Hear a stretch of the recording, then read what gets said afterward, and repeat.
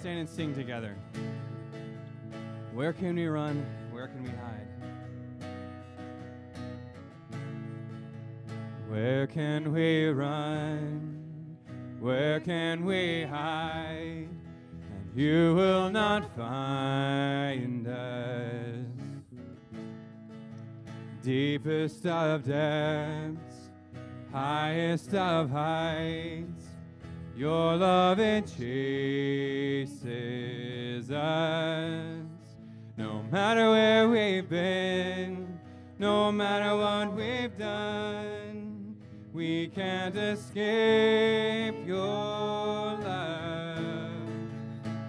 Oh, and we will never see the end. We will never see the end of your goodness.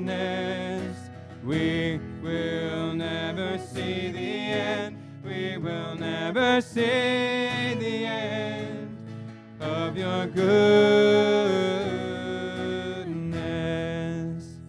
Well, good morning, church. As we see these, as we sing these lines, I'm going to think about what Matt preached on last week, which was when after Adam and Eve sin and they realize that they're naked and, and they're ashamed and they realize, I have to cover myself, I have to cover my shame, I have to hide from God, I don't want him to know what I've done. And they're in the garden and they're hiding, and God is still walking in the garden. He's walking in the garden, He's calling out to them, and He's looking for them. And I want to remind you, church, that's what we're singing about in this song. It says, Where can we run and where can we hide where you'll not find us? And that sounds really ominous, right? Or you will find us. And then, but it continues, says, Your love, it chases us. So God didn't find Adam and Eve just to curse them. He didn't find Adam and Eve to say, I, I'm angry with you, and out of the garden you go. He found them to have a relationship with them and to restore them to something and to still give them hope in Jesus. So let's sing verse 1 and that chorus again, and, and let's think about all the times where we've sinned and we've wanted to hide and run away from God and, and try and be in a place where God won't find our sin and won't find our shame, but instead we can rest in the assurance that God is going to find us. He already knows, and He's not looking at us in anger. He's not, he's not here to be upset with us. He's here to, coat, to cover us with uh, and cover our shame with Jesus and to remind us of the blood that was spilt on our behalf. So let's sing that again. Let's sing, Where Can We Run and Where Can We Hide? And sing, sing with boldness, knowing that that's what God does for us. He finds us and He covers us.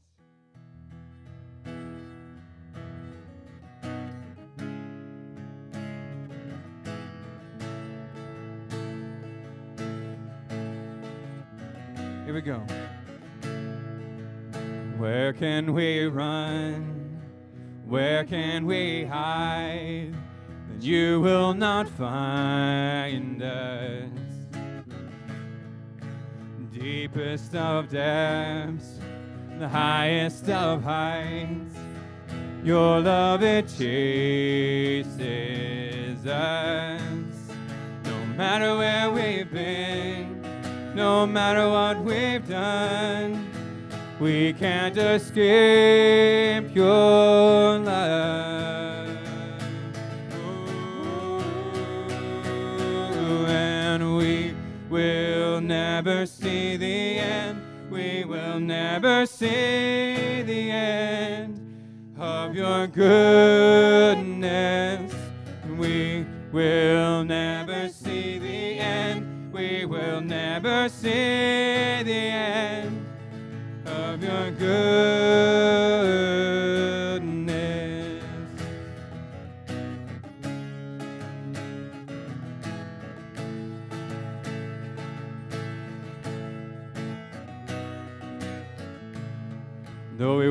through the fire, Oh, we pass through the flood, you will be with us.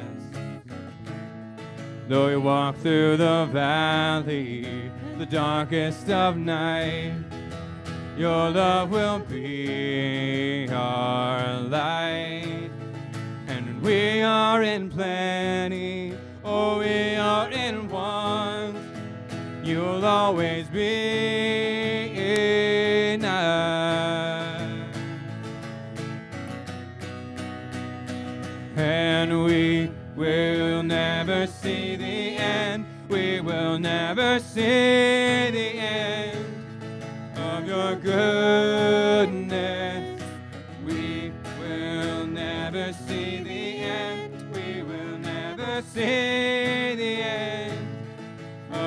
Goodness.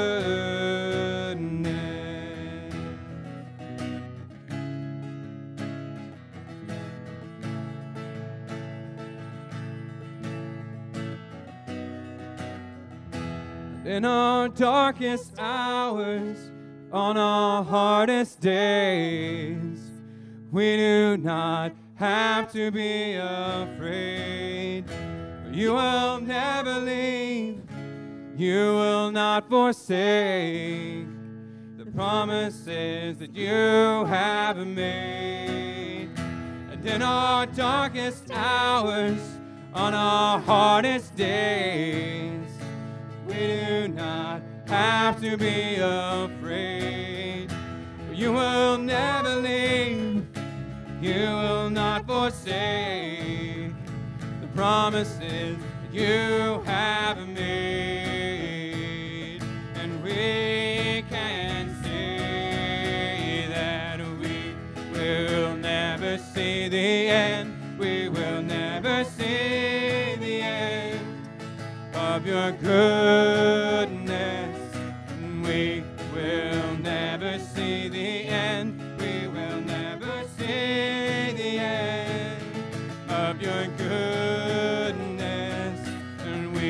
will never see the end. We will never see the end of your goodness.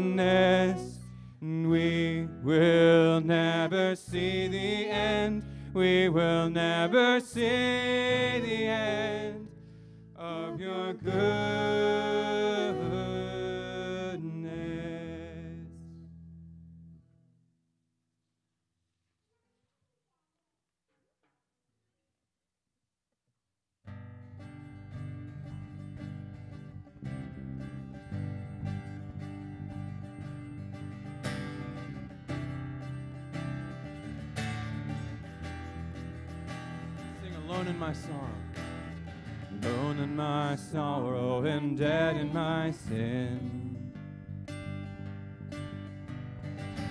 Lost without hope with no place to begin.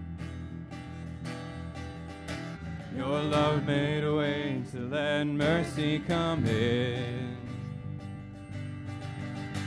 When death was arrested and my life began. Ash was redeemed. Ash was redeemed, only beauty remains. My orphan heart was given a name. My mourning grew quiet, my feet rose to dance. When death was arrested and my life began. Oh, your grace so free washes over me. Have made me new. Now life begins with you. Released from my chains, I'm a prisoner no more. My shame was a ransom he faithfully bore. He canceled my debt and he called me his friend. Death was arrested and my life began. Oh, your grace so free washes over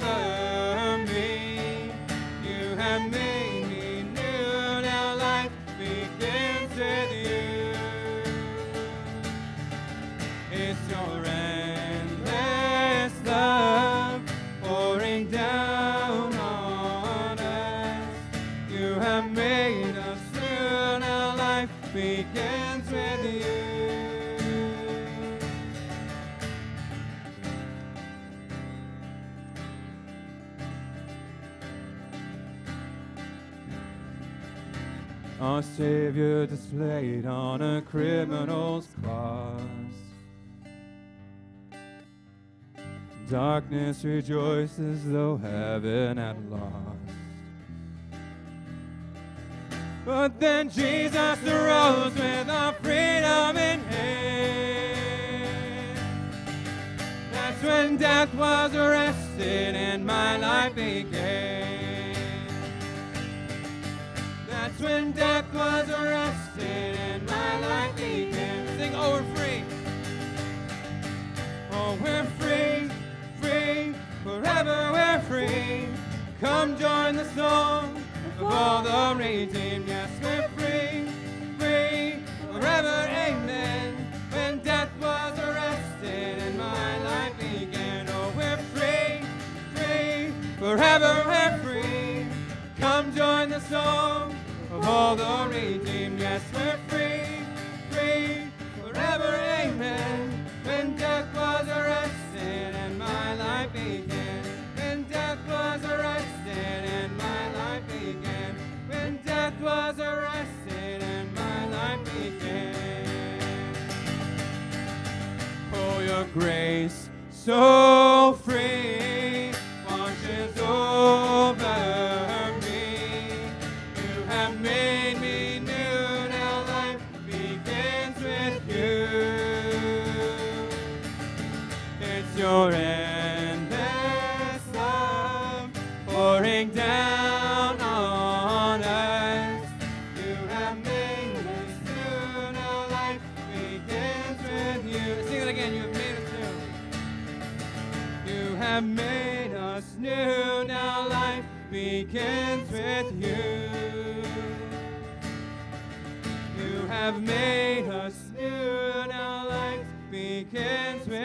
you.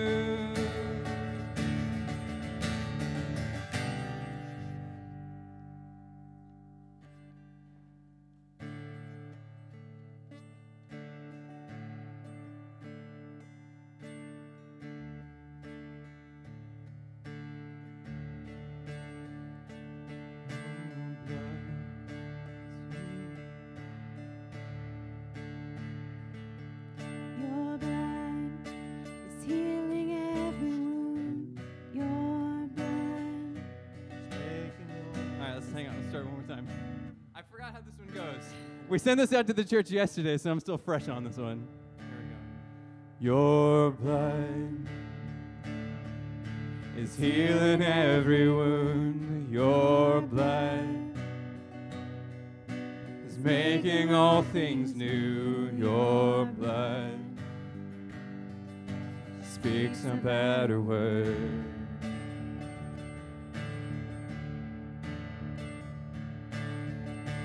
Your blood,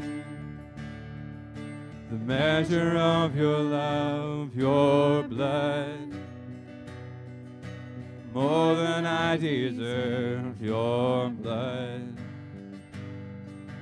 Speaks a better word, speaks a better word, it's singing out with life. Shouting down the lines. It echoes through the night. The precious blood of Christ speaks a better word. Speaks a better word. Sing verse 1 again. Your blood healing every wound. Your blood is making all things new. Your blood speaks a better word.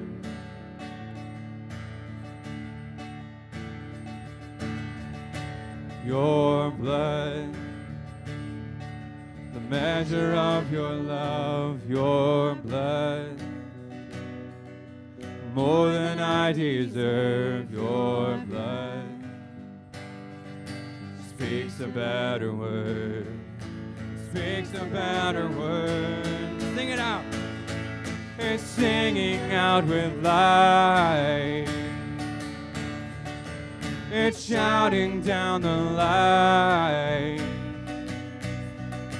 It echoes through the night. The precious blood of Christ speaks a better word. Speaks a better word.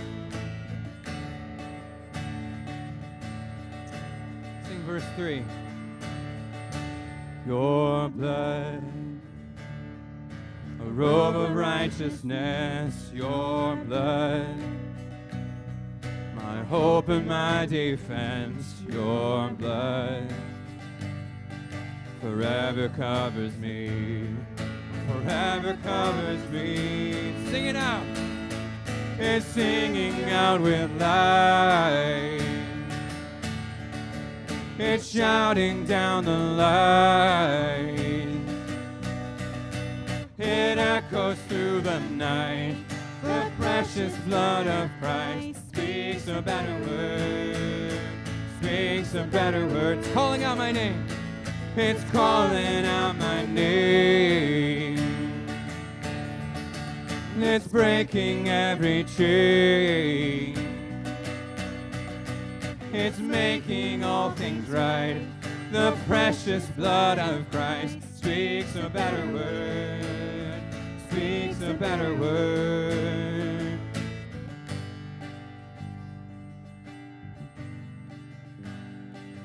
It's rewriting our history. It covers me with destiny. It's making all things right. The precious blood of Christ. It's rewriting my history. It covers me with destiny. It's making all things right. The precious blood of Christ. It's rewriting my history. It covers me with destiny. It's making all things right. The precious blood of Christ. It's making all things right. The precious blood of Christ. It's singing out with life. Shouting down the lights. It echoes through the night. The precious blood of Christ speaks a better word. Speaks a better word. It's calling out my name. It's breaking every chain. It's making all things right. The precious blood of Christ speaks a better word. Speaks a better word.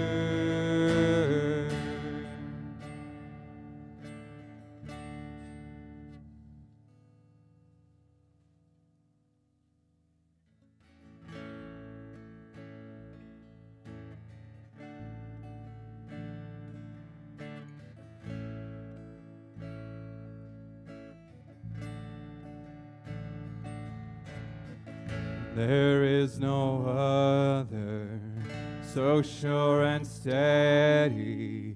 My hope is held in your hands.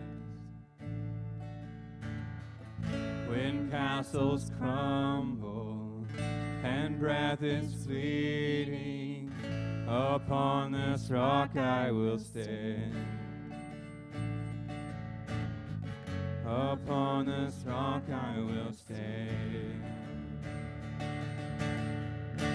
Glory, glory, we have no other King but Jesus, Lord of all.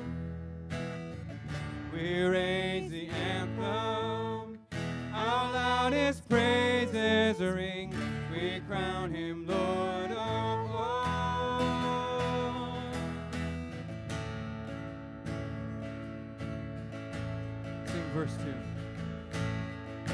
Your kindly rule has shattered and broken the curse of sin's tyranny. My life is hidden neath heaven's shadow. Your crimson flood covers me. Your crimson flood covers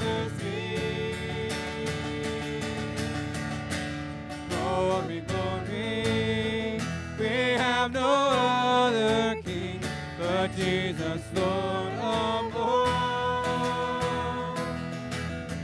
We raise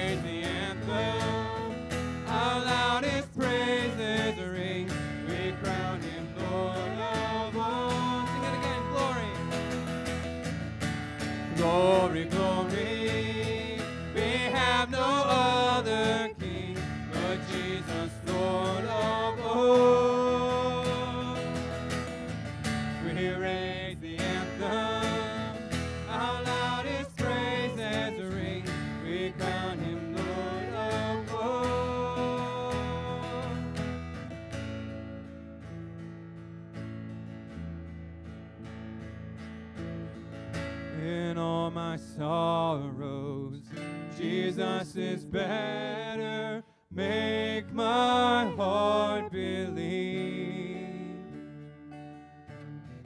In every victory, Jesus is better. Make my heart believe.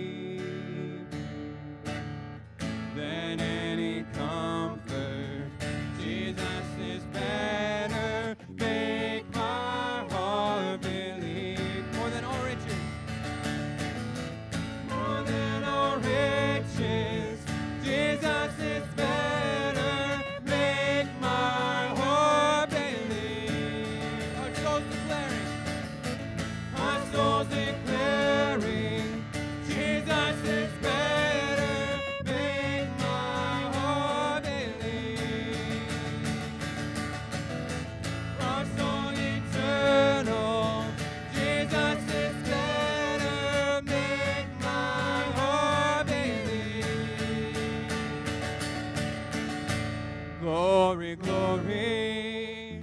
We have no other King but Jesus, Lord of all. We raise the anthem, our loudest praises ring. We crown Him Lord of all. Sing glory. Glory, glory.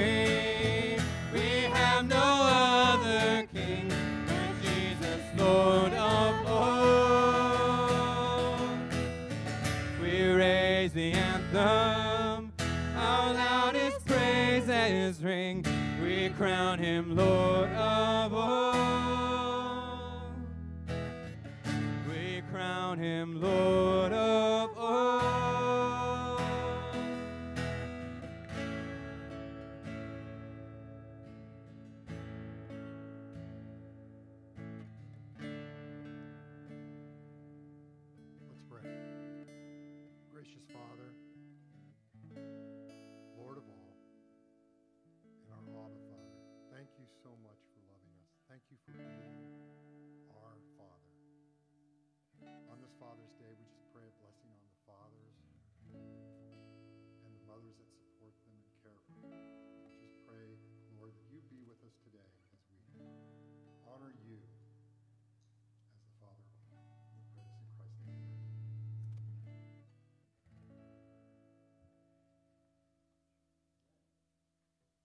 One announcement to make, and then kids, less kids today, some kids can go.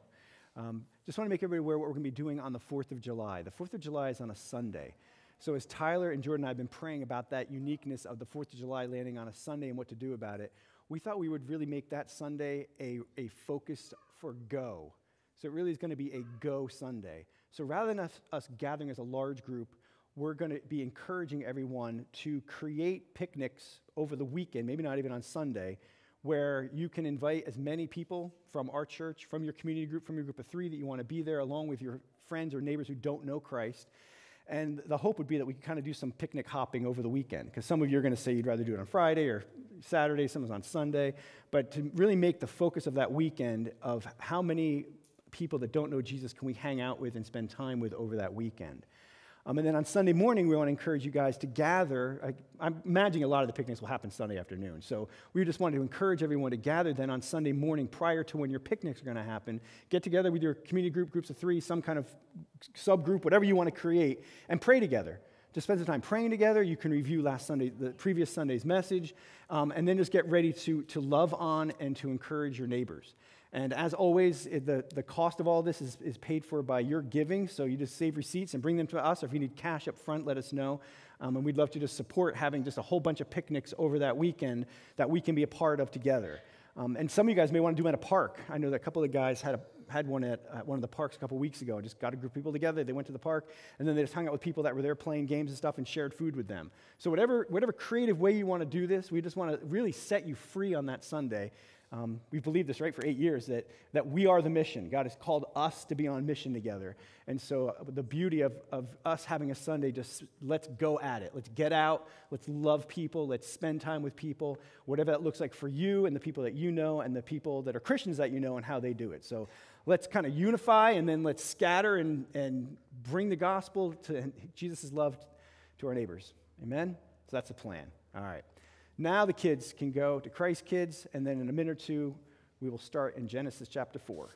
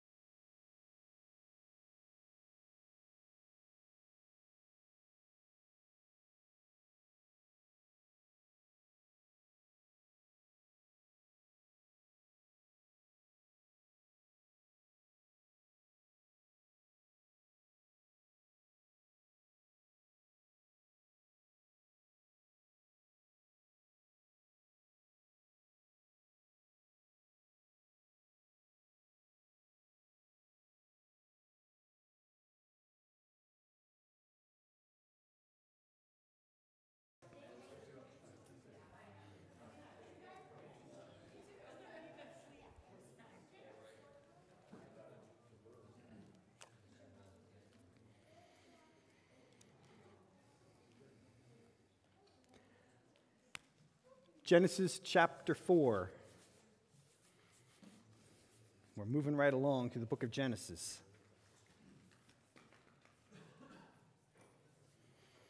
So I'd like to pray for us, and then Ruth is going to read chapter 4 of Genesis, and then we're going to take a little time seeing what God has for us out of this chapter. So let me pray. Almighty God, we thank you for your generous, loving hand that's on our lives. Day in and day out, you are so good and so kind, so loving, such a wonderful provider, and we honor you and we thank you for all the blessings that you have poured down on us, even just this morning since we woke up. We recognize that your love and your grace have been new again this morning, fresh, flowing over us. So thank you for that. Thank you that your grace and your love never gets stale or old or begrudging, but it's always filled with joy and abundance. And we honor you and we thank you for that. And Lord, as we read into your word this morning, we ask that you would help us. We always need your help when we come to your word. God, our, our, our souls can be passive sometimes, our, our souls can be lethargic. And so um, we are coming to what you want to tell us, and it is alive and it is active, and we want it to land on us that way. And so we need your spirit to help us, that this would not be dull or boring or familiar, but instead, God, that what you want to say to us individually and as a church through this passage, that it would, that it would enliven us and that it would stir our hearts with fresh zeal and affection and love for you. And that as, as each word is read and as we look at it together, that we would we'd understand clearly what's being said and that we would not just understand it, but believe it. And then our belief would grow into love for you, which would lead to action and, and being obedient to what you want us to do. God, we pray for that. We, we need your mercy to work in our hearts this morning. Lord, lest this be just a fleshy activity. God, we believe this is a, this is a moment to experience your presence and your power in a fresh way. And so come, Holy Spirit, come. We need you. Bless this time, anoint this time, work in our hearts during this time, I pray. In Jesus' name, amen. All right, Genesis 4. Genesis 4. Genesis chapter 4. Now Adam knew Eve, his wife, and she conceived and bore Cain, saying, I have gotten a man with the help of the Lord. And again she bore his brother Abel. Now Abel was a keeper of sheep, and Cain a worker of the ground. In the course of time, Cain brought to the Lord an offering of the fruit of the ground, and Abel also brought of the firstborn of his flock and of their fat portions. And the Lord had regard for Abel and his offering, but for Cain and his offering he had no regard. So Cain was very angry, and his face fell. The Lord said to Cain, Why are you angry, and why has your face fallen? If you do well, will you not be accepted? And if you do not do well, sin is crouching at the door. Its desire is contrary to you, but you must rule over it. Cain spoke to Abel, his brother. And when they were in the field, Cain rose up against his brother Abel and killed him. Then the Lord said to Cain, Where is Abel your brother? He said, I do not know. Am I my brother's keeper? And the Lord said, What have you done? The voice of your brother's blood is crying to me from the ground. And now you are cursed from the ground, which has opened its mouth to receive your brother's blood from your hand. When you work the ground, it shall no longer yield to you its strength. You shall be a fugitive and a wanderer on the earth. Cain said to the Lord, My punishment is greater than I can bear. Behold, you have driven me today away from the ground, and from your face I shall be hidden. I shall be a fugitive and a wanderer on the earth, and whoever finds me will kill me. Then the Lord said to him, Not so. If anyone kills Cain, vengeance shall be taken on him sevenfold. And the Lord put a mark on Cain, lest any who found him should attack him.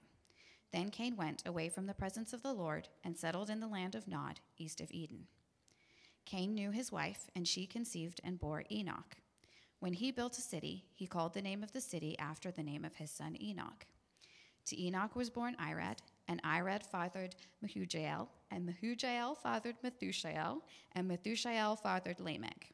And Lamech took two wives. The name of the one was Adah, and the name of the other Zillah. Adah bore Jabal. He was the father of those who dwell in tents and have livestock. His brother's name was Jubal. He was the father of all those who play the lyre and pipe.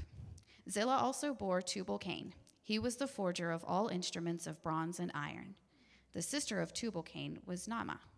Lamech said to his wives, Adah and Zillah, hear my voice. You wives of Lamech, listen to what I say. I have killed a man for wounding me, a young man for striking me. If Cain's revenge is sevenfold, then Lamech's is seventy sevenfold. And Adam knew his wife again, and she bore a son and called his name Seth. For she said, God has appointed for me another offspring instead of Abel, for Cain killed him.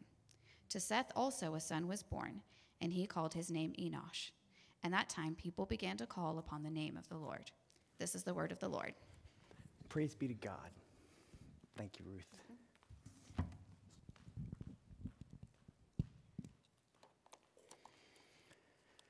Well, since this is a narrative, as Genesis is, I want to just use the way the story unfolds this morning to look at major themes and major things that God is doing. There's sort of these six movements or six little snapshots, and I want to walk us through those.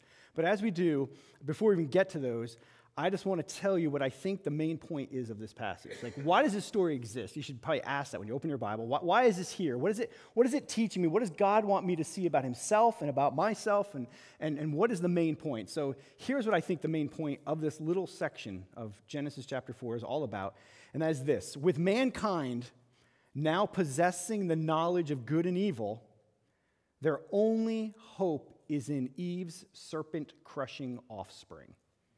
I think that's what this is all about. With mankind, right, we learned last week, mankind now possesses the knowledge of good and evil. That is a very bad thing. And we're going to find out how bad it is as we get into chapter 4 here. But now that mankind has the ability or the knowledge of what is good and now is making decisions on their own for what's good and for what's evil, we have no hope except in this offspring that God has promised to Eve who will one day crush the serpent's head. And so these movements through this story are all God's people gathered reading this, whether it's us or whether it was originally as the story is unfolding, wondering where is this serpent killer?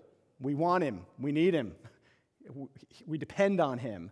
And so the first movement I think we can see in this story is really good news in verses 1 to 4.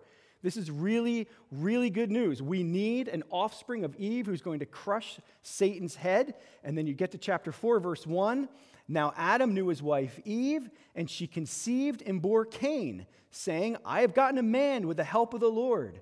And again she bore his brother, now Abel. Now Abel was a keeper of sheep, and Cain a worker of the ground. In the course of time, Cain brought to the Lord an offering of the fruit of the ground, and Abel also brought of the firstborn of his flock and of their fat portions. So we have good news. We've got an offspring. We've got someone who's on the scene who could be the Satan crusher. I mean, really, to get into the, the, the, the mood of this, you have to get into Adam and Eve's bare feet and enter what they're going through. They've lived sinlessly in paradise. We don't know for how long, but for a season before they rebelled. And even if it was just a few weeks, you can't imagine how crushed, I mean, just how depressed and grieved they must have been over this new life outside of the garden, dealing with this new knowledge of good and evil. And they must have been absolutely off the charts with excitement now that they've got this child who could perhaps be the one who will put things back the way they used to be by getting rid of the serpent. And not, to, not only does have one offspring, they have two. I can't imagine not hoping maybe they'll tag team this thing. Maybe they'll both get together and crush Satan's head. So there is joy here. This is all great news. And, and both of these guys seem to have a relationship with God. They're both bringing offerings to God. I mean, you can feel the excitement in these first four verses. Satan is going down, the offspring have been born. But then we get to verse 5, and we begin to wonder if we started celebrating a little too soon. So look at verse 5 with me or the end of four. And the Lord had regard for Abel and his offering, but for Cain and his offering, he had no regard. I'm going to keep reading. But for Cain and his offering, he had no regard. So Cain was very angry, and his face fell. And the Lord said to Cain, Why are you so angry, and why has your face fallen? So here we have the hope of these two offspring that will crush Satan's head. And immediately we realize that son number one has some serious anger issues. It says he's very angry. He's angry because God has not accepted his offering. Now, I just want to pause here just to make note of something. It's very different from chapter 3 than what we see in chapter 4. In chapter 3, Adam and Eve are tempted from the outside, right? Satan comes along and, and he's the one who's speaking lies to them. Here, there's no Satan on the scene. Now it's coming from the inside. Sin has entered man's heart, and now Cain is very angry, and he is very angry at God. So, how does God deal with this first very angry man? What's God going to do? How is God going to interact with him? Well, let's look at verse 6. God said to Cain, Why are you angry? Why is your face fallen? If you do well, will you not be accepted? And if you do not do well, sin is crouching at the door. Its desire is for you, but you must rule over it. So, verses 6 and 7 there, we see how God responds to an angry, the very first angry man.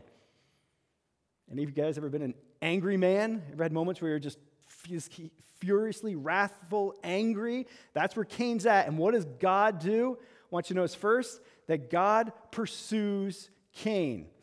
God approaches Cain. God approaches Cain in his anger, just like God approached Adam and Eve when they were in the garden and had sinned.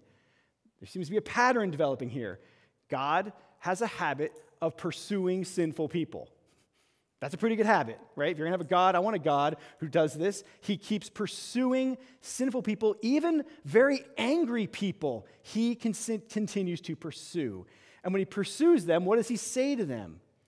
What does he say to Cain? Well, he encourages Cain, he warns Cain, and God tells Cain what to do to escape having an angry heart. What does he tell him?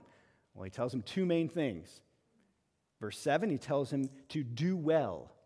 He says, if you do well, and then he also says he wants him to rule over sin. He tells him to rule over it. So do well. If you do well, rule over your sin, you can escape this anger. Verse 7, he uses I love this. Sin is crouching at the door. Its desire is for you, but you must rule over it. Sin is, is crouching. He's supposed to rule over it. Don't let it get the best of you. You need to kill it. It's almost like God knows anger is a gateway sin.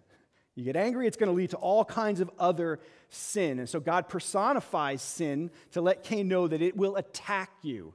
It will attack you. It's crouching, waiting to pounce on you, Cain. You guys have seen enough, probably those documentary kind of things where the lion is down in the grass, right? And he's the same color as the bushes and the dirt. So he blends in and he's moving slowly, crouching, waiting to attack a gazelle or something that's running through the woods. That's the picture. There's a wild cat crouching down named sin, and it's hiding and it's ready to pounce. Sin is not passive, it is active. And here, Satan's not the enemy. It's coming from within. There's sin, and it's ready to pounce on him. And God says to Cain, strike it first. Strike first. Rule over it. Dominate it. Don't let it get the best of you. So that's the first thing. The second thing he says to Cain is that you need to do well. If you do well, he says to Cain. And that's kind of an odd thing, right? Even in context here, it's like, what does that mean? What does it mean for Cain to do well? What was the real issue with Cain and his sacrifice so that he didn't do well the first time, but he's supposed to do well the second time? What, is, what does doing well look like compared to what he had done before? So, what was wrong with Cain? What was wrong with the sacrifice that he brought? Why was Abel's accepted and Cain's not? Well, some believe that the issue with Cain was that he did not bring an animal blood offering. So, Abel's was accepted because his was a blood sacrifice, and Cain's wasn't because it was a grain sacrifice. The problem with this interpretation is that it's not in the text. it doesn't say that. That's the first problem. The second problem is that, is that later in the Old Testament, we're going to see that God enjoys grain offerings. He wants them, He loves a grain offering. So it seems that that's not the issue here. Okay, so, so then what do you do? Right? You're reading your Bible and you're like, all right, what does it mean to do well? It certainly isn't that he needs to go back and order, you know, offer up a blood sacrifice. So what do you do when you run into a problem? You make something up. What do we do? Good, we start searching. Yep, we, we start to move in rings a little further from the text until we find the answer. So in this case, you have to keep reading and reading and reading and reading and reading and reading until you get to Hebrews 11. and Hebrews 11 gives us the answer, which I love. So Hebrews 11 says this, verses 1 to 4. Now, faith is the assurance of things hoped for, the conviction of things not seen. For by it the people of old received their commendation. By faith we understand that the universe was created by the Word of God, so that what is seen was not made out of things that are visible.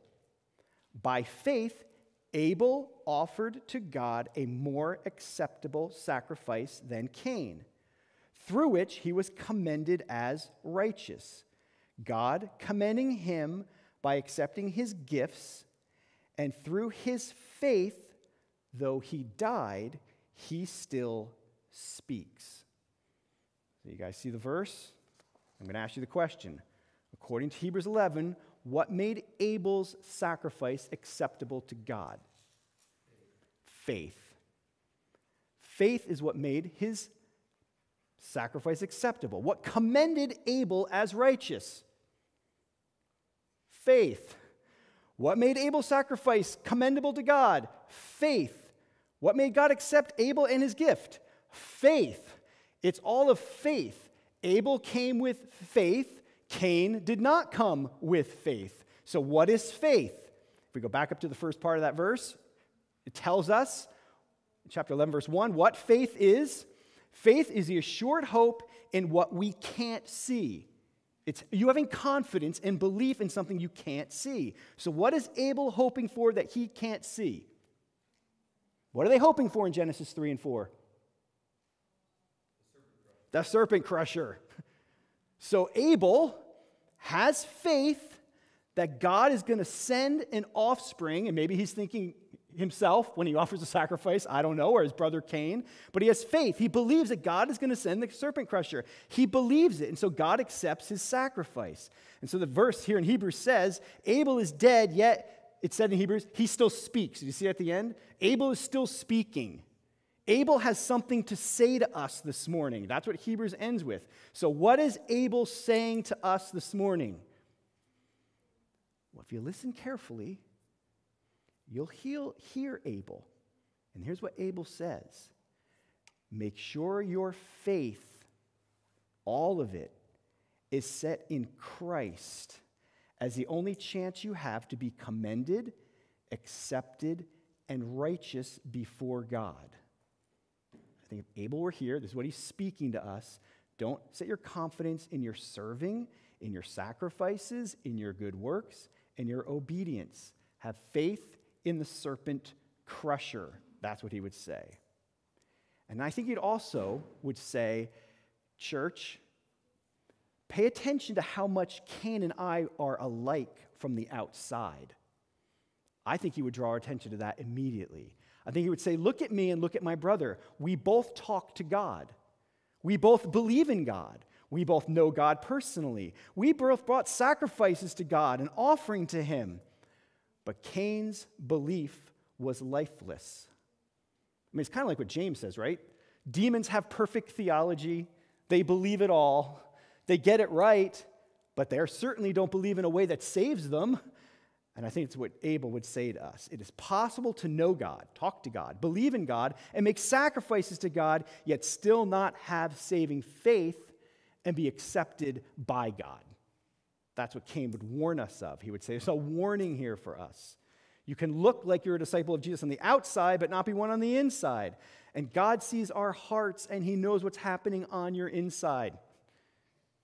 And what He's looking for is faith.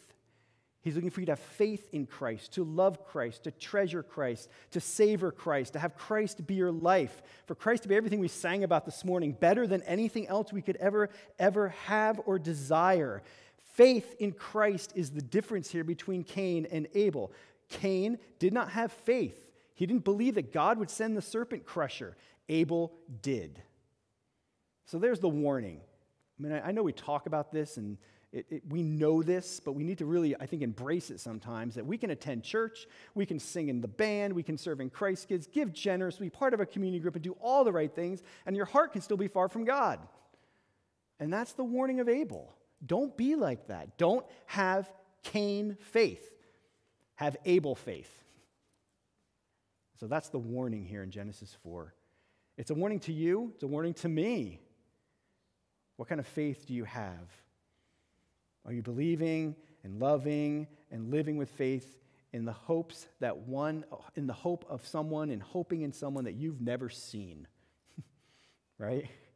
It's almost insane, isn't it? Unless the Spirit of God has revealed Christ to you. We are believing in someone we have never seen. Our faith is in someone we've never seen. So this morning, I think we were being graciously warned by God and by Abel to question do we have Cain faith or do we have Abel faith? I feel like God is looking each one of us in the eye and saying, Are you doing well? Are you doing well? Just like he looked at Cain and said, You can do well, he's asking us, Are you doing well? And I think when he asked him that question, he's offering Cain the opportunity to repent. This whole conversation is about repentance. He's opening the door for Cain, saying, Cain, if you want to, you can repent right now. If you do well, resist Satan or resist your sin, put it to death, don't let it, don't let it attack you, and do well, have faith, and things will go well with you. You'll be accepted. So, what does Cain do? Does he repent? Well, verse 8 tells us Cain spoke to Abel, his brother and they were in the field, Cain rose up against his brother Abel and killed him. God's gracious warning turns into grievous sin. Cain does not do well. Cain lets sin rule over him. And instead of Cain crushing Satan's head, Cain crushes his little brother's head. The very first human born on the earth is a murderer, and the second human born on the earth is murdered.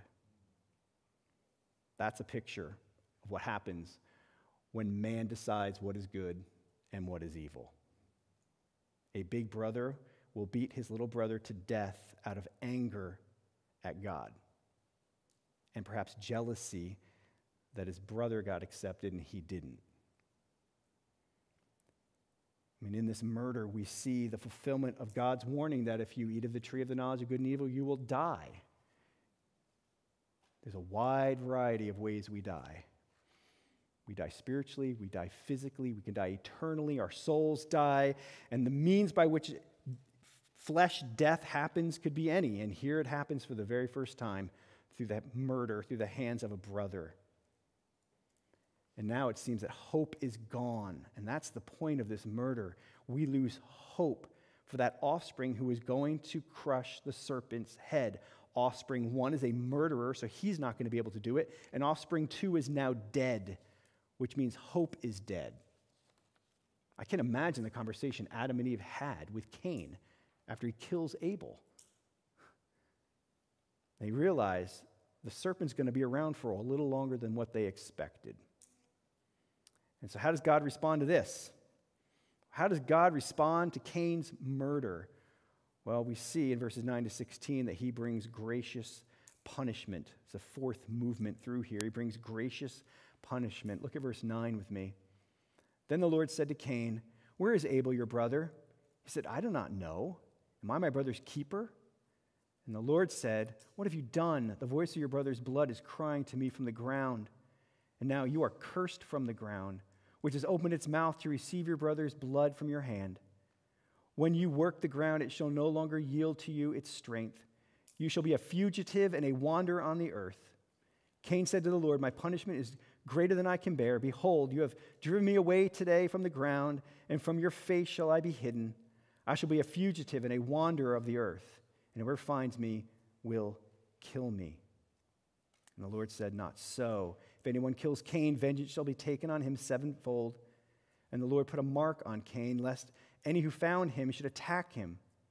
Then Cain went away from the presence of the Lord and settled in the land of Nod, east of Eden. God here is bringing gracious punishment. Yes, it is punishment. Just like with Adam and Eve, right? They're hiding. God comes them and says, Where are you?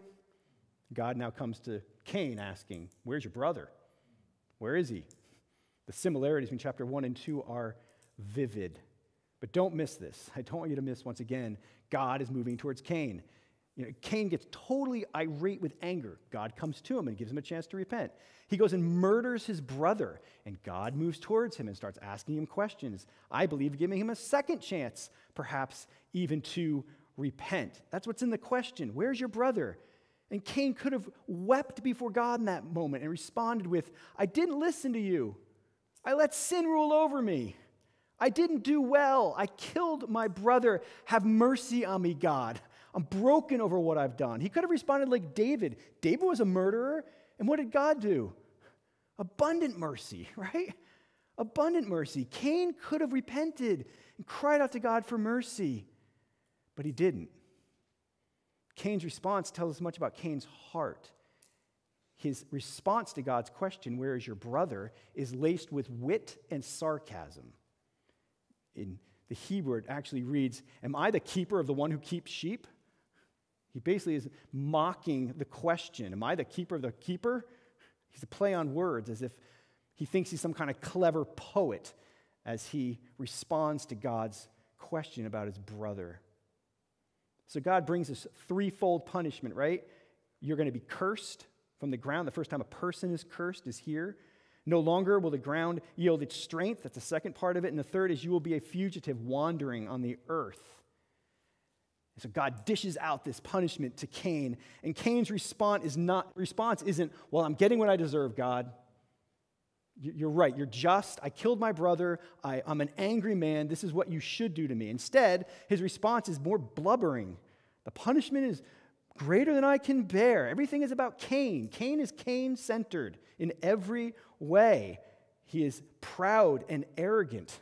All he cares about is himself. And so his response here tells us more about this man's faithless heart. And so, what about the punishment?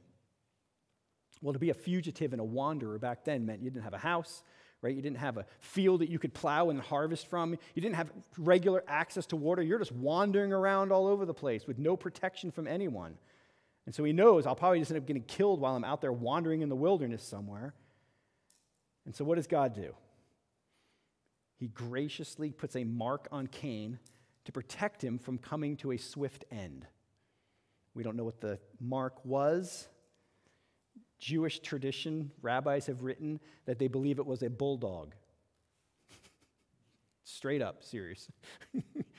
and that it would protect Cain. If somebody went to attack Cain, the dog would go at him and eat the guy. I don't know where they came up with that. I don't think we know from the text or from anywhere else in the Bible.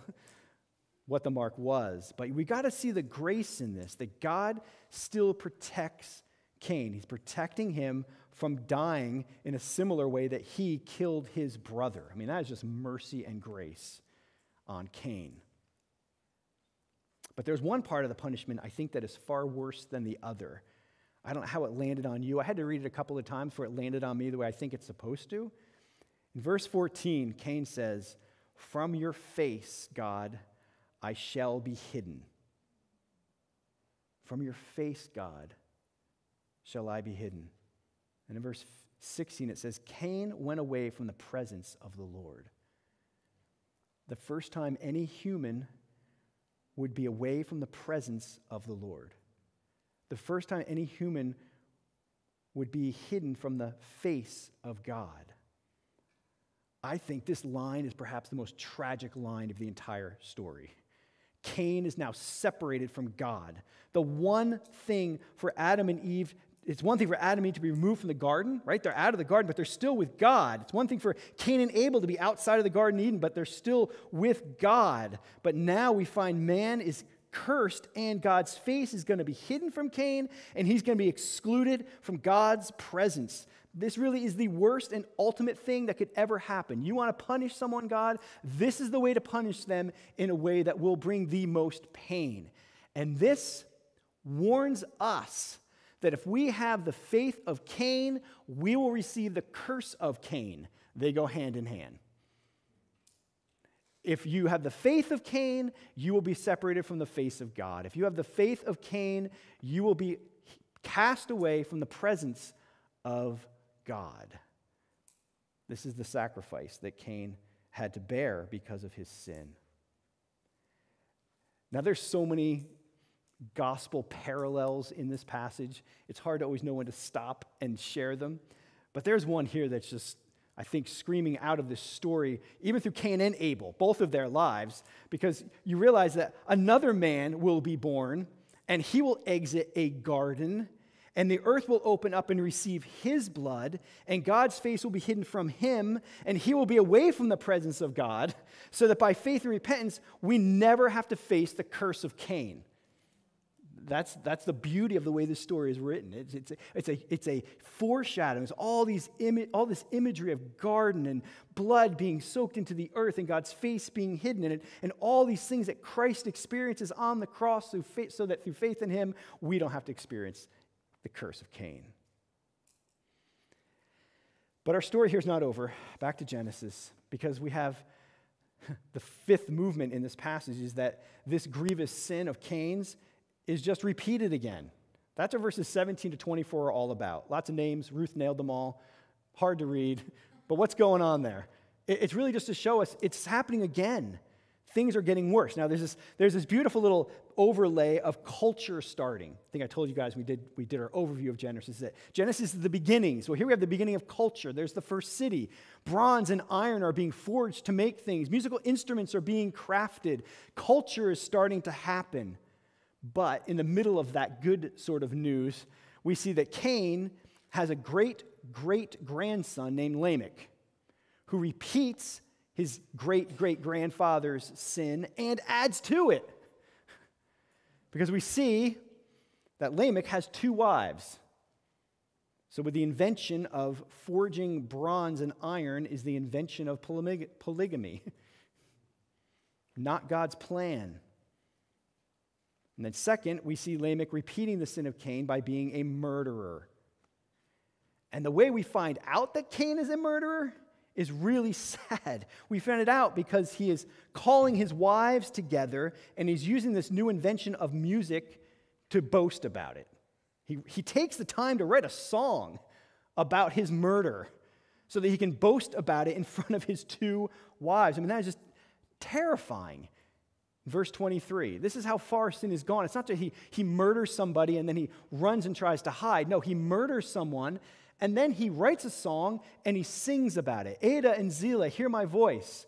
Verse 23 You wives of Lamech, listen to me. Listen to what I say. I've killed a man for wounding me, a young man for striking me. And we don't know whether it was one man and then a young man, but at the very least, we know that whoever he killed, one of them was young. So he's killing someone young and he's boasting about it. That's how far things have gone. It's almost like Cain kills his king, his kid brother, and now we've got Lamech killing a young man. It's pathetic. It's sad. It shows you the, un- the unraveling of mankind. So now Cain and Lamech are living separate from God. And ultimately, the problem is they are determining for themselves what is good and what is evil. That's it. And so I think it's a moment in this story, although it's not over yet, to pause to warn all of us, perhaps to warn those of you who are younger in this room than those of us who are older, that your heart, left on its own to decide what is good and evil, is a very dangerous thing, a very bad thing. And the only place you're going to be able to go so that you can make accurate decisions over what is good and what is evil is the internet.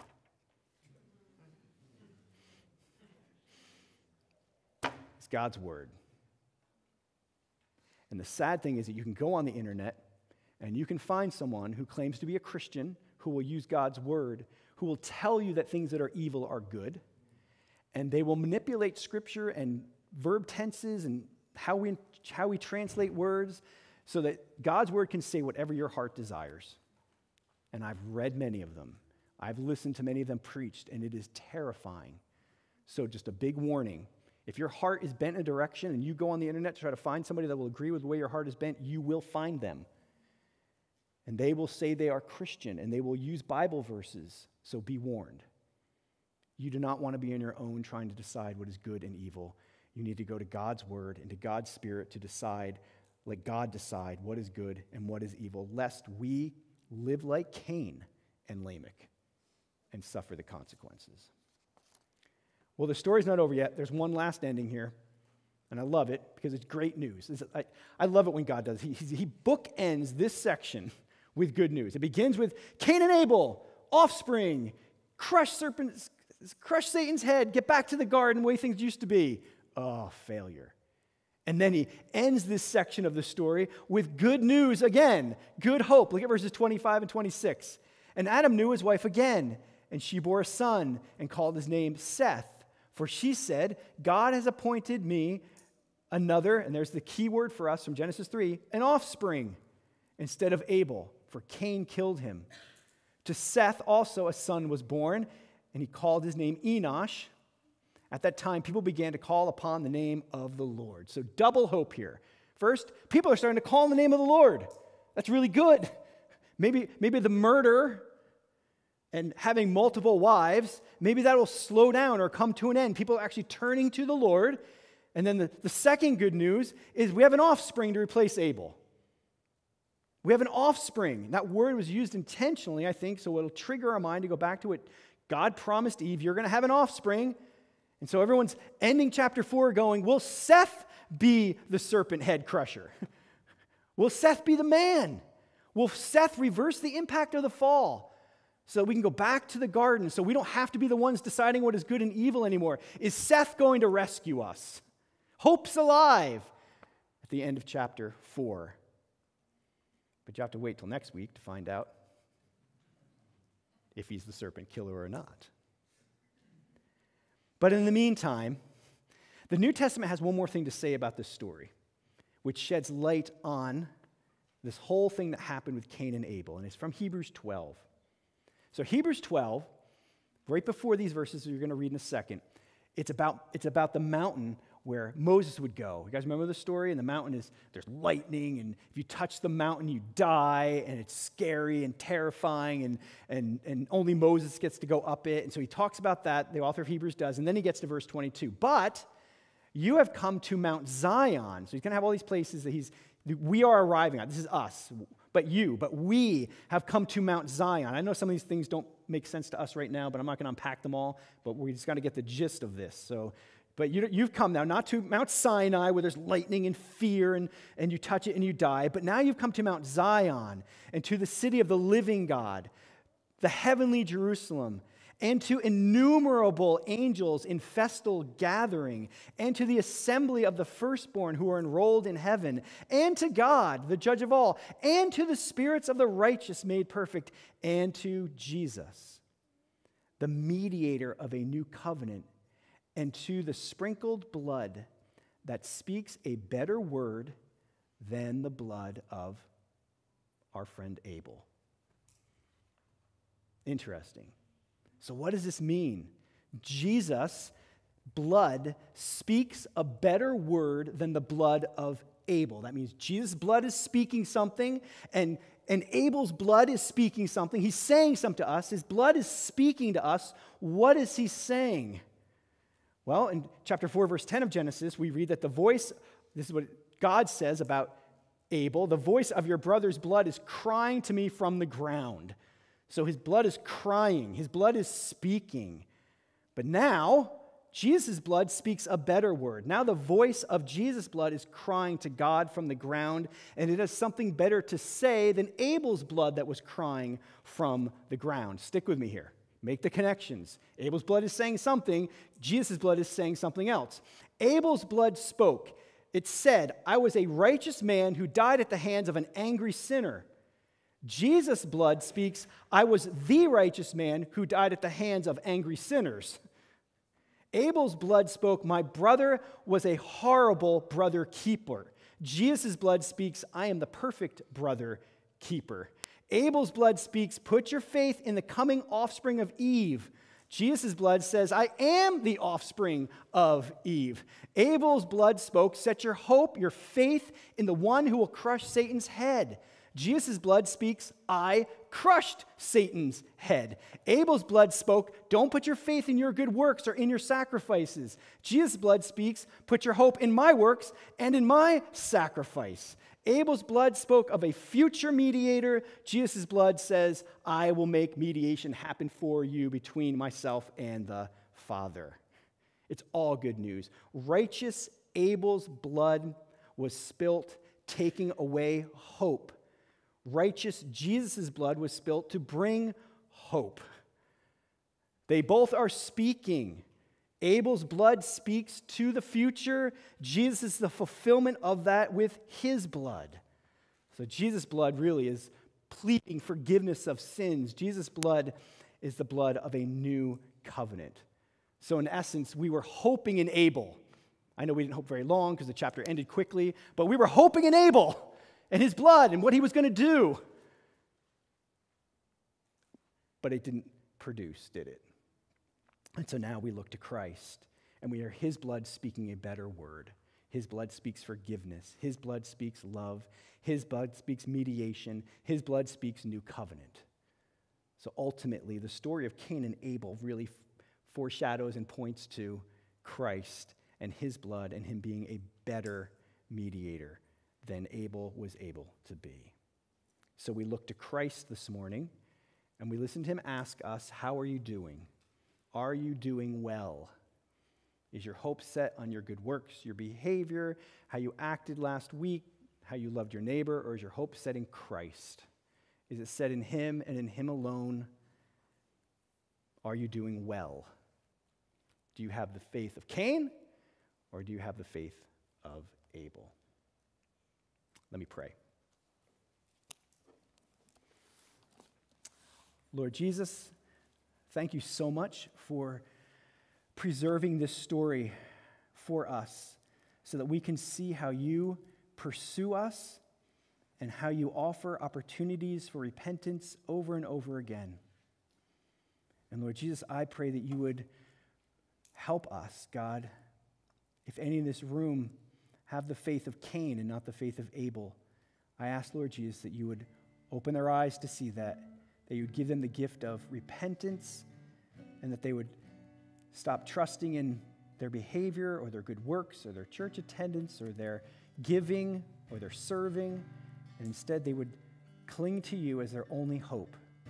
God, grant us the faith of Abel that we might be commended this morning for having believed in you for believing in you, for loving you.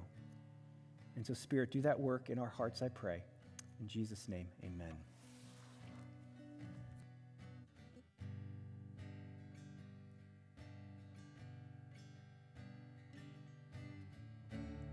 Stand and sing together.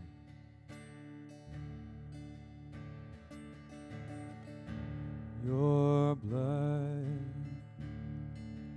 healing every wound. Your blood is making all things new. Your blood speaks a better word.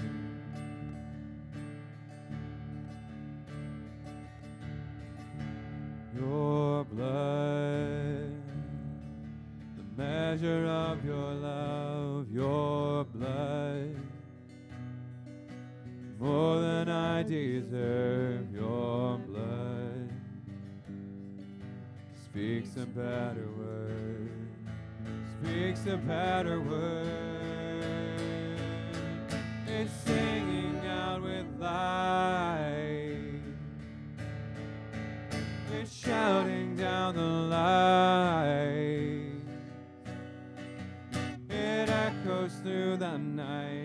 The precious blood of Christ speaks a better word. speaks a better word.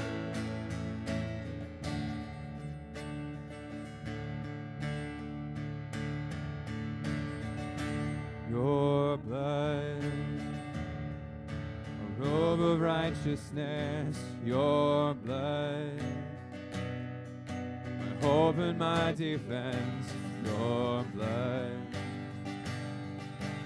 forever covers me, forever covers me. It's singing out with life. It's shouting down the light. It echoes through the night. The precious blood of Christ speaks a better word. Speaks a better word. It's calling out my name. And it's breaking every chain. It's making all things right. The precious blood of Christ speaks a better word. Speaks a better word.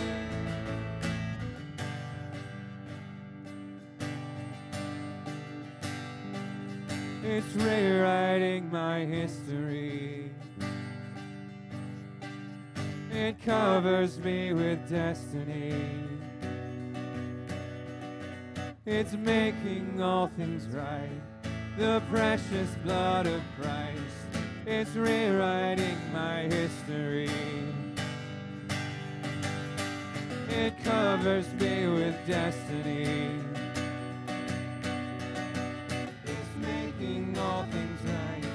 The precious blood of Christ. It's rewriting my history. It covers me with destiny. It's making all things right. The precious blood of Christ. It's making all things right. The precious blood of Christ. It's singing out with life. Shouting down the light. It echoes through the night. The precious blood of Christ speaks a better word. Speaks a better word. It's calling out my name. It's breaking every chain. It's making all things right. The precious blood of Christ speaks a better word. Speaks a better word. It's making all things right. The precious blood of Christ speaks a better word. Speaks a better word.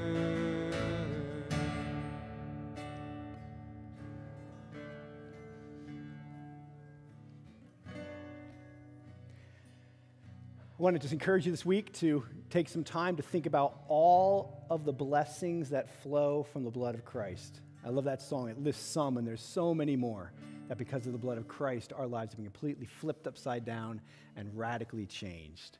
So we're going to, for our benediction, do our scripture memory. How are we doing on this? Almost got it? All right. Maybe next week we won't put it on the screen. I didn't hear any amen that. All right, here we go. Let's, can we read this together? And uh, may, may God's Spirit help us to believe what we read here.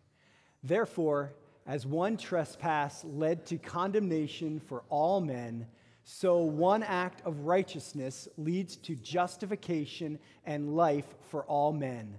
For as by the one man's disobedience the many were made sinners, so by the one man's obedience the many will be made righteous. Now the law came in to increase the trespass, but where sin increased, grace abounded all the more, so that as sin reigned in death, grace also may reign through righteousness, leading to eternal life through Jesus Christ our Lord. Amen. Amen. You're dismissed. Hope you guys have a great week walking with Christ.